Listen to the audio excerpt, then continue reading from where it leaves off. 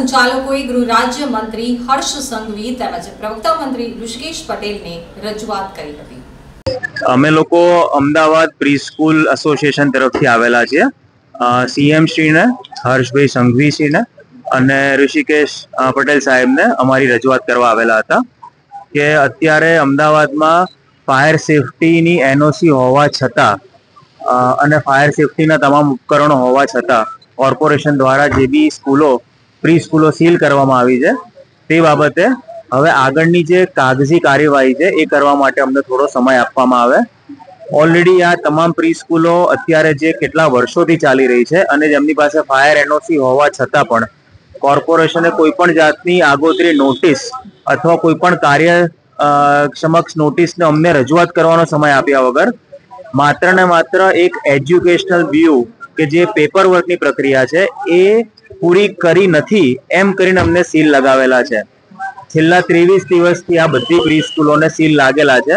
પરંતુ આ જે પ્રી સ્કૂલોએ એ રેસિડેન્શિયલ ઉપયોગ અથવા તો કમર્શિયલ ઉપયોગમાંથી એજ્યુકેશનલ બીયુ નો ઉપયોગ કરવા માટેની અરજી કરેલી છે, તેને પણ ધ્યાનમાં ના લઈને હજુ પણ આ બધી પ્રી સ્કૂલોને સીલ રાખેલી છે. આટલા ઘણા સમયથી સ્કૂલો ચાલે છે, તો આટલા વર્ષ સમય ના મળ્યો?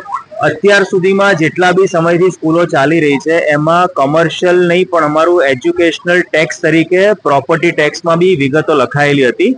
કોર્પોરેશન પાસે આ વિગતો છેલ્લા વર્ષોથી, જ્યારથી સ્કૂલો ચાલુ છે, ત્યારથી તમામ ટેક્સ બિલમાં બી કોર્પોરેશને એજ્યુકેશનલ લખેલું છે.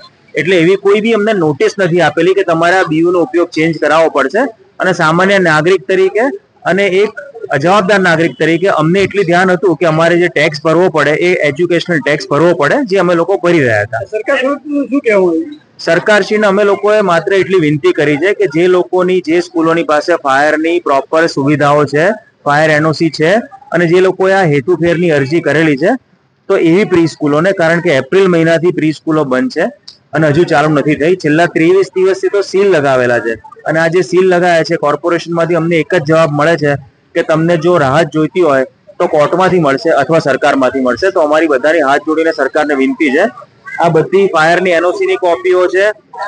જે સુરતમાં, રાજકોટમાં દરેક જગ્યાએ પ્રી સ્કૂલો ખોલી દેવામાં આવી છે. આ જ કાગળિયાઓની સાથે કે જે ફાયરના ઇક્વિપમેન્ટ હાજર છે તો તમારી સ્કૂલો અમે ખોલી આપીશું. એ બાહેધરીથી અમદાવાદ સાથે કોર્પોરેશન ક્યારે અમને સ્કૂલ ખોલી આપશે એવો અમારો સવાલ હતો. એનો અમને બાહેધરી સાથે જવાબ આપ્યો છે. આના માટે યોગ્ય નિર્ણયો ઝડપથી લઈશું.